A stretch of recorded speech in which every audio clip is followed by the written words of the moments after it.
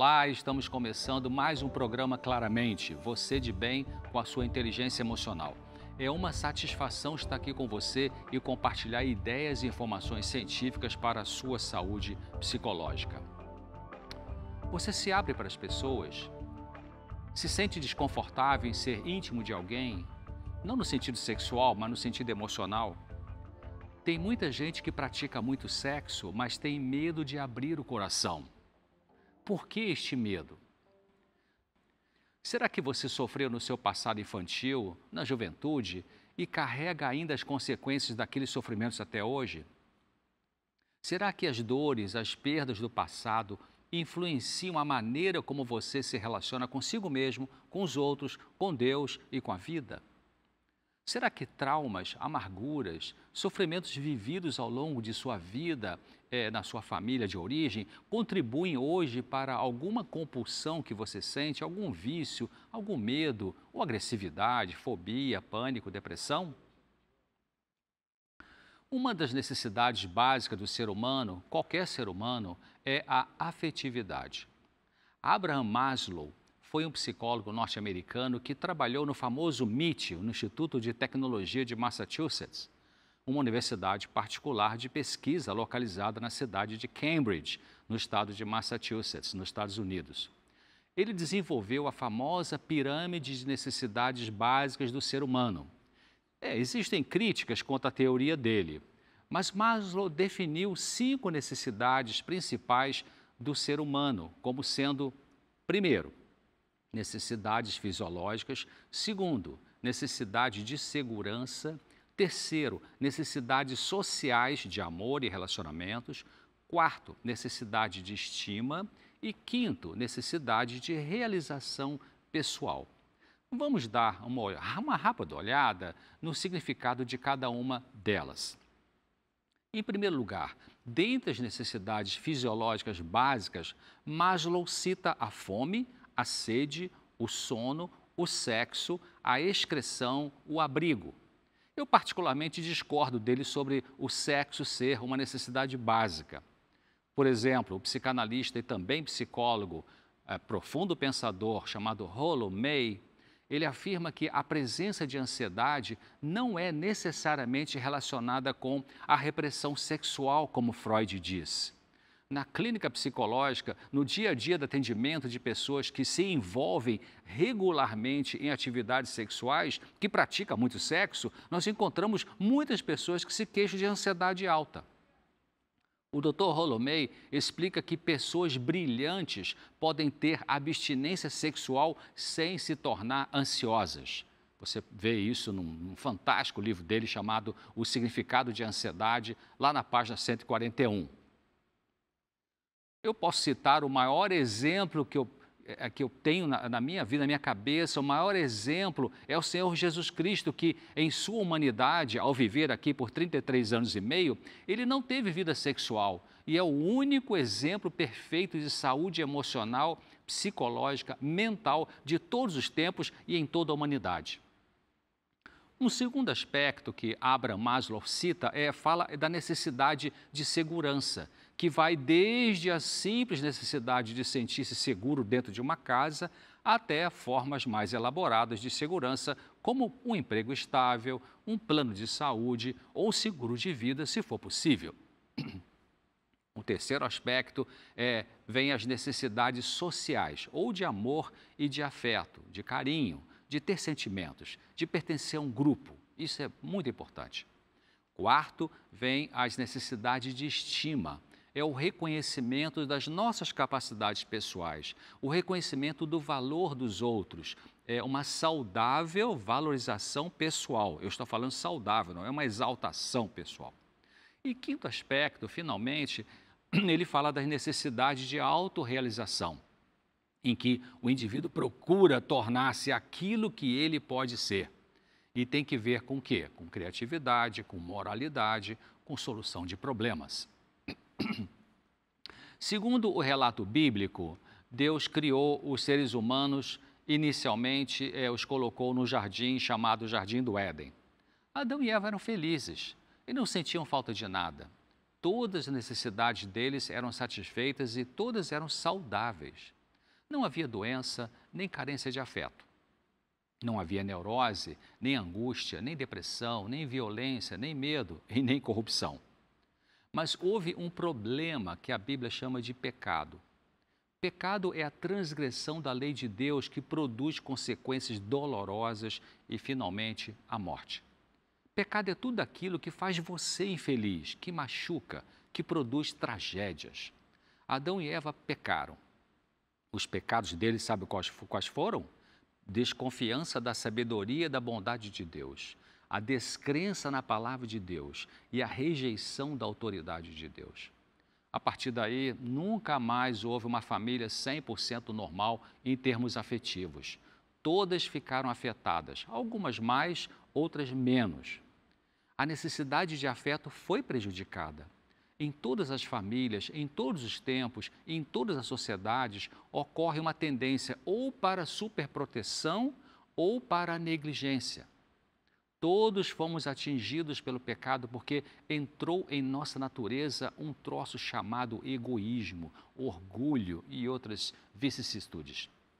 Houve uma perda, faltou algo, falta um ajuste emocional. Ficamos carentes, a diferença é que uns são carentes de serem mais racionais porque se tornaram sensíveis demais. E outros são carentes de serem mais afetivos porque se tornaram racionais demais. Eu creio, realmente eu creio que só o Senhor Jesus Cristo é que conseguia, ao viver aqui nesse planeta, equilibrar razão e emoção. Quando uma pessoa não consegue lidar com a sua emoção, com a sua afetividade de maneira equilibrada, ela pode desenvolver uma obsessão, uma compulsão, um vício ou chamada de adicção, seja por qualquer coisa, por pessoas, por academicismo, pelo trabalho, pelo sexo, por jogo, por comida, compras, romance, automutilação, compulsão por dinheiro, por pornografia, por videogames, pelo álcool e outras drogas a gente se torna aquilo que nos causa menos dor. Eu vou repetir: a gente se torna aquilo que nos causa menos dor. Mas aí você pode ter escutado isso que eu disse e pensar assim, contra-argumentar, dizendo: ah, mas isso que eu me tornei me faz sofrer. Eu não gosto de ser assim, desse jeito. Estou sofrendo muito. Olha como é que eu tenho tanta fobia. Ou então, olha como é que eu vivo com pânico. Como é que você está dizendo que a gente se torna aquilo que nos causa menos dor? Bem, eu vou tentar explicar. Isso que você é hoje é o melhor que você conseguiu ser até agora com os recursos que você dispõe. Os seus sintomas, seja fobia, pânico, depressão, dependência química, compulsão alimentar, etc., são defesas que você está usando porque ainda não aprendeu a lidar com seus conflitos de uma maneira melhor. Eu vou explicar um pouco melhor, vou tentar. Uma criança pode ter sido vítima de abuso verbal e afetivo ao longo da sua infância. Seu pai ou sua mãe podem ter sido é, pessoas irônicas, agressivas, distantes, frias, e isso pode ter gerado na criança um fechamento, um encolhimento, uma retração. E ela pode ter crescido com uma característica de introversão que a impede de se relacionar socialmente de forma agradável, preferindo estar sozinha, isolada. Eu estou citando apenas um exemplo. Mas esse isolamento também produz dor. O fato dela ter se tornado fechada socialmente foi o melhor que ela conseguiu ela se fechou porque foi uma defesa usada para se proteger dos abusos da família de origem onde ela vivia. Foi um escudo de autoproteção contra a dor de ser rejeitada pelo pai ou pela mãe, ou pelos dois. Um escudo protege, não é verdade? Mas também afasta do contato íntimo. Então, nesse exemplo que eu estou dando, essa pessoa se tornou o que ela se tornou porque, ao se fechar, sente menos dor. A compulsão pode ser, então, uma manifestação de sofrimento e, ao mesmo tempo, uma proteção por causa de traumas, de feridas difíceis para aquela pessoa. Pode ser uma manifestação de sofrimento porque ah, a compulsão é um distúrbio, é sinal de que algo na vida mental da pessoa está mal. E é uma defesa também porque quando a pessoa está envolvida com a sua compulsão, ela desvia o pensamento e o sentimento da dor original para o objeto da sua compulsão. A compulsão é um desespero no campo emocional. Ela serve para nos proteger da dor associada ao amor. A compulsão, diz a autora, é uma complicação menor para se lidar e evitar a dor, que é uma complicação maior. Para uma pessoa com sofrimentos psicológicos, seja depressão, fobia, pânico, ansiedade excessiva, dependência química, etc., não ficar dependente de medicação e poder realmente melhorar, ela vai precisar examinar as decisões que tomou no seu passado relacionadas com a noção de valor pessoal e decifrar o que cultivou na sua mente sobre o desejo de ser amada.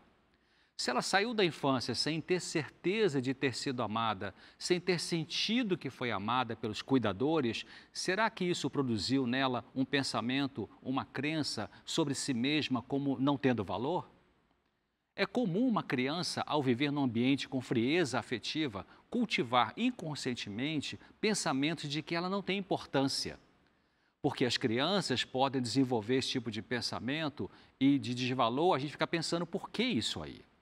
Sabe por quê? Porque naturalmente para elas os pais sempre estão certos. E quando pai e mãe perdem o controle e agridem o filho, a filha, com palavras duras e com atitudes estúpidas, a criança ainda tenta proteger na mente dela a ideia de que pai e mãe estão certos e que ela é que está errada. Então, é importante para a pessoa sofrendo emocionalmente começar a examinar as decisões que tomou no seu passado e que tem que ver com a noção de valor pessoal no presente, hoje, e o que cultivou em sua mente sobre o desejo de ser amada. Você tem cultivado um desejo idealizado de ser amada, de ser amado?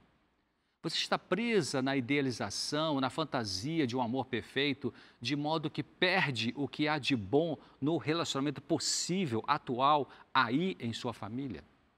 Ainda não aceitou as perdas do passado? Tem fugido disto através de alguma compulsão? Se você admite que sim, então pare e nos próximos dias analise sua vida passada. Peça a luz a Deus para Ele iluminar sua mente e ajudar você a entender, a trazer para o consciente tudo aquilo que Deus sabe que você precisa compreender para ser liberto, liberta da sua dor emocional. Peça a Ele forças para aguentar os sentimentos dolorosos originais produzidos ao pensar nessas coisas. Foi Deus mesmo que disse que, ao você conhecer a verdade, a verdade o libertará. Olha esse conselho dessa pessoa sábia que diz assim: deveríamos estudar a experiência da vida passada, estudá-la assim como nós estudamos as provas de um artigo para encontrar os erros e anotá-los nas margens da página. Deveríamos fazer isso diariamente e anotar nossas faltas de modo que possamos evitá-las no futuro. Vamos agora então para um breve intervalo e já voltamos com esse assunto. Até já.